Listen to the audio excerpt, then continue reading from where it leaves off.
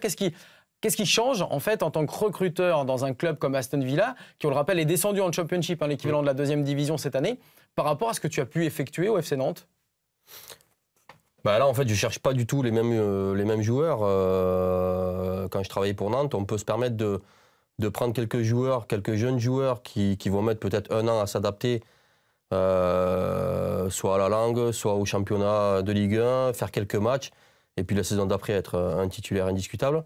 Alors que pour les Anglais, il faut vraiment voilà, chercher du, du top joueur et, et que ça joue tout de suite. Donc c'est vrai que c'est c'est complètement différent. Et après, ce qui change, c'est que j'arrive dans un club qui est professionnel. Ah oui, par rapport à ce que tu as pu connaître notamment. Euh, sur ce que pourtant, le FC Nantes, c'est un club historique qui, a, avait les moyens. Nous, on est, quand on est arrivé avec William, on, est, on, est, on a démarré de zéro. Hum, C'est-à-dire qu'il n'y avait rien du tout. Il n'y avait aucun rapport, il n'y avait aucun joueur, il n'y avait aucun suivi. Donc on a tout, Pas de rapport avec, euh, avec Valdemar et Franquita, par exemple euh, Ils ne venaient pas vous demander de voir tel joueur ou, bah Non, ils ne connaissent pas les joueurs. D'accord. Ah non, ils les connaissent que par les agents, c'est tout. Mais euh, sinon, non, non, ils connaissent pas aucun joueur. Donc ils vous laissent le, champ libre? Voilà, donc après, euh, nous, on leur fait la, suggestion de joueurs.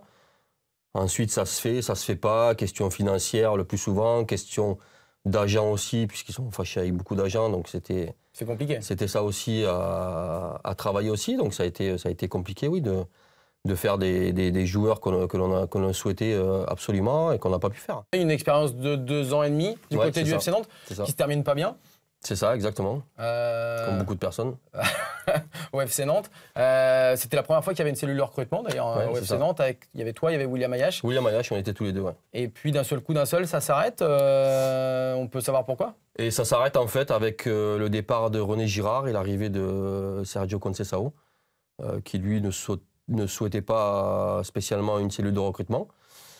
Et voilà, donc euh, la famille Kitan a profité justement pour sauter, a vraiment sauté sur l'occasion pour euh, voilà, nous, nous, faire partir du, club avec, avec euh, William, que j'ai d'ailleurs pratiquement tous les jours au téléphone. C'est une personne que, que j'admire et que je respecte énormément et que, que j'adore. donc j'ai gardé de, très bons liens avec, avec William. Euh, Mais comment ils vous font partir de, parce qu'à ce moment-là, c'est quoi les critères de, départ de licenciement? Alors au départ, c'est euh, un mauvais recrutement euh, sur l'été, puisqu'avec René Girard, donc on était, on était 19e avant l'arrivée de Sergio Conceição.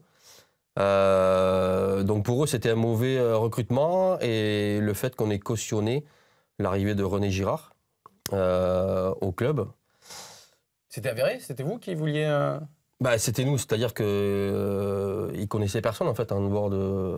Si nous on leur proposait pas des noms, ils connaissaient personne en fait. Le président et son fils. Bah, exactement. Donc euh, donc c'est moi, qui ai c'est moi qui ai contacté Christian Gourcuff pour organiser un rendez-vous à Paris. C'est William qui a contacté René Girard pour avoir un rendez-vous à Paris. Et après, voilà, Christian Gourcuff avait donné son accord après à Rennes.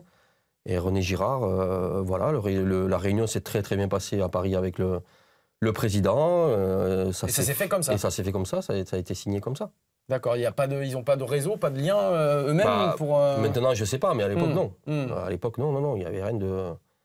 Et on rappelle, vous avez fait signer qui de, justement à l'été avant, de, avant de vous Alors faire On fait signer Diego Carlos, on fait signer Lucas Lima. De Brésiliens qui sont titulaires encore trois ans après Voilà, on fait signer Nikolai Thompson, euh, qui malheureusement euh, est resté que, que six mois, mais je, suis encore persuadé que c'est un très bon joueur puisqu'il joue titulaire à Copenhague, qui est champion du Danemark et qui joue la Coupe d'Europe.